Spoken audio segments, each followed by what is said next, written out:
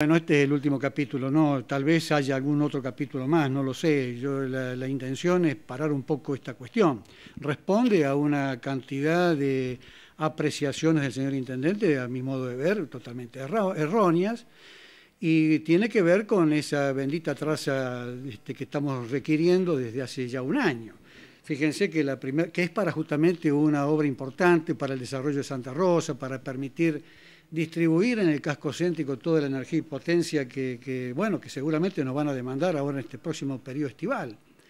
Y que lamentablemente no hemos podido este, desarrollarlo este, y terminarlo a pesar de que tenemos concedido un crédito. Yo le he hecho este, infinidad de notas. La primera fue del 24 de septiembre del 2009, una nota 514 con registro de mesa de entrada, de salida en este caso. Eh, bueno, y a, partir de allí se sucedieron una cantidad de dimes y diretes, de notas que iban y notas que venían, con apreciaciones del señor intendente que para mi modo de ver está totalmente equivocado, porque él este, no es autoridad de aplicación en materia de energía eléctrica y no forma parte del contrato de concesión que tiene celebrado la cooperativa con el superior este, gobierno de la provincia. Él hace mención casualmente a, ese, contrato de concesión, pero si él no, es una persona ajena, si hay responsabilidades, no va a ser él. No entiendo, simplemente tiene la, mentalidad de seguir poniendo trabas este, para justamente no concedernos lo que por obligación tiene, porque en definitiva él e, e, es la persona que administra los espacios públicos, no es el propietario. Y, si no, yo este, ya he respondido también este, al señor juez de falta en, esos términos porque eh, nos ampara la ley de electroductos, eh, la, la 19552 nacional, la 8836, la 8837, la 8850 a nivel provincial, que justamente el contrato de concesión también hace mención. Eh, el contrato de concesión hace mención al uso de estos espacios públicos.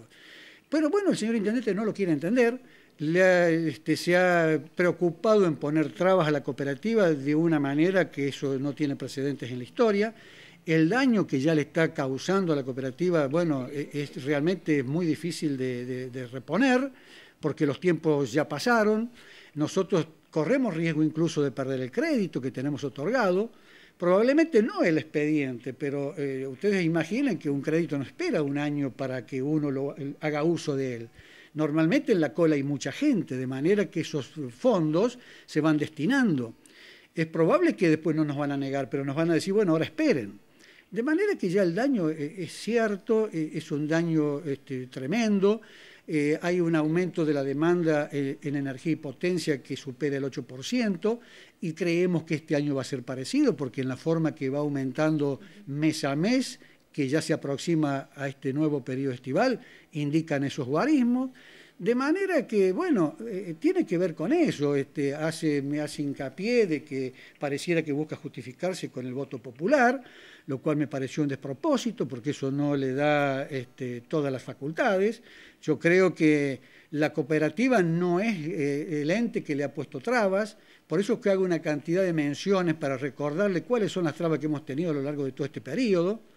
Eh, fíjense en que en Santa Rosa del Río tenemos un proyecto ya, este, constructivo aprobado por el ERCEP eh, para llevar adelante, que es, este, es una localidad que está, está, postergada, tiene serias dificultades de energía eléctrica en su distribución y, potencia.